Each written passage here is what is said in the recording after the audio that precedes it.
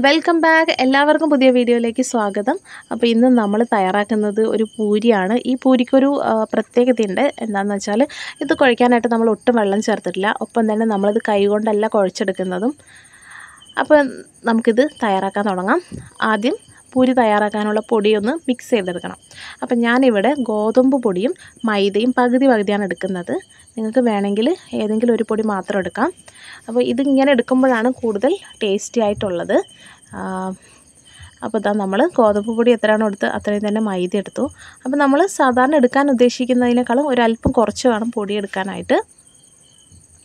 ഇനി ഇതിലേക്ക് ഒരു കൈലോളം റവയും കൂടി ചേർത്ത് കൊടുക്കുന്നുണ്ട്. റവ മസ്റ്റാണ് കേട്ടോ. കാരണം റവ ചേർത്താൽ നമുക്ക് നല്ല മുരിഞ്ഞ് കിട്ടുകയും ചെയ്യും. ഒപ്പം തന്നെ ഈ അധികം എണ്ണ കുടിക്കുകയില്ല. അപ്പോൾ നമുക്ക് ആവശ്യമുള്ള പൊടികളും ഉപ്പൊക്കെ ചേർത്തിട്ട് നന്നായിട്ടൊന്ന് മിക്സ് ചെയ്ത് കൊടുക്കുക. ഇനി നമ്മൾ ഈ പൊടിയുടെ നമ്മുടെ മിക്സിയുടെ ചെറിയ ജാറില്ലേ അതിലേക്ക് കുറച്ച് കുറച്ചായിട്ട് ചേർത്ത് കൊടുക്കണം കേട്ടോ.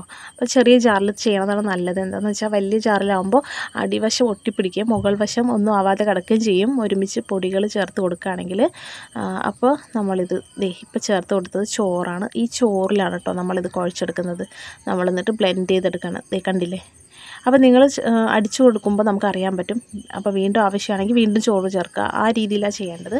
അപ്പോൾ രണ്ടാമത്തെ ബാച്ചും നമ്മളിതുപോലെ അടിച്ചെടുത്തു. ഇനി ഇതിനെ ഒരു ബൗളിലേക്ക് മാറ്റിയിട്ട് നമുക്ക് ഒരു അല്പം എണ്ണ തൂവിയിട്ട് ഈ മാവിന് രണ്ടിനെയും കൂടി ഒന്ന് മിക്സ് ചെയ്തെടുക്കണം. അതിങ്ങനെ ഒരുപാട് കുഴച്ച് ബുദ്ധിമുട്ടൊന്നും വേണ്ട കേട്ടോ. ജസ്റ്റ് കൈ കൊണ്ടൊന്ന് മിക്സ് ചെയ്യാൻ മാത്രമേ ഉള്ളൂ. ഇനി കുഴയ്ക്കണ പരിപാടിയൊന്നുമില്ല. നമ്മൾ നനവിന് ചോറ് മിക്സിയിൽ ചേർത്ത് കൊടുത്തിട്ട് വീണ്ടും ആവശ്യമാണെങ്കിൽ അല്പം കൂടി ചേർത്ത് അങ്ങനെയാണ് അടിച്ചെടുത്തത് കേട്ടോ. അപ്പോൾ ഇതാ നമ്മൾ അല്പം എണ്ണ ചേർത്ത് ഒന്ന് മിക്സ് ചെയ്തെടുത്തു. ഇത് ഇങ്ങനെ മിക്സ് ചെയ്തെടുത്തിട്ടുണ്ട്. ഇനി നമുക്ക് ഇത് ചെറിയ ചെറിയ ബോളുകളാക്കിയിട്ടൊന്ന് മാറ്റിയെടുക്കണം.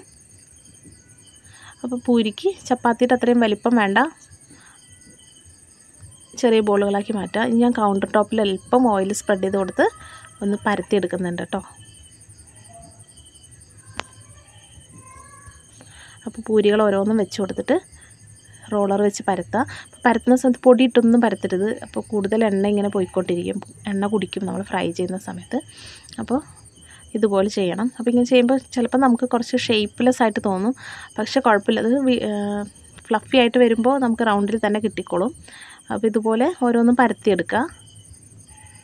ഇനി നല്ല ചൂടായ എണ്ണയിലേക്ക് നമുക്ക് ഇതിന് ഇട്ട് കൊടുക്കാം.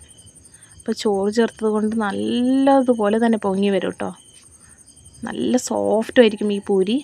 ഇത് കണ്ടില്ലേ? എണ്ണയിലിട്ടപാട് പൊങ്ങി വരുന്നുണ്ട്. അപ്പോൾ കൃത്യമായി ഇതേപോലെ ചേരുവകൾ ചേർത്ത് തയ്യാറാക്കുകയാണെങ്കിൽ നിങ്ങൾക്ക് നല്ല പെർഫെക്റ്റ് ആയിട്ട് കിട്ടും.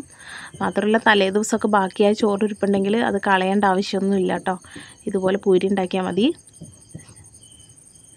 നമ്മൾ കാലത്ത് ഉണ്ടാക്കുന്ന പലഹാരത്തിലേക്ക് അത് ഉൾപ്പെടുത്തുകയാണെങ്കിൽ ഹെൽത്തിയാണ്. ഒപ്പം തന്നെ ഭക്ഷണം വേസ്റ്റ് ആവുകയില്ല. അപ്പോൾ ഈ രീതിയിൽ നമുക്ക് മറ്റുള്ള പൂരികളൊക്കെ ചുട്ടെടുക്കാം. ഇത് കണ്ടില്ല എല്ലാം നമുക്ക് നല്ല ഫ്ലഫി ആയിട്ട് കിട്ടിയിട്ടുണ്ട്. നല്ല സോഫ്റ്റാണ് കേട്ടോ ഇത് കഴിക്കാനായിട്ട്. നല്ല തിന്നായിട്ടായിരിക്കുന്നത് കണ്ടില്ലേ? നമ്മൾ നൈസായിട്ട് പരത്തിയത്. എന്നിട്ട് പോലും നന്നായി വന്നിട്ടുണ്ട് ഇത് കണ്ടില്ലേ? ഇത് കഴിക്കാൻ വല്ല കടലക്കറിയോ അതുപോലെ പൊട്ടറ്റോ സ്റ്റൂ അങ്ങനെയൊക്കെ ഉണ്ടെങ്കിൽ നല്ല കുശാലായിരിക്കും. അപ്പോൾ എല്ലാവരും ഇതുപോലെ പൂരി ഉണ്ടാക്കി നോക്കണം കേട്ടോ. Thanks for watching bye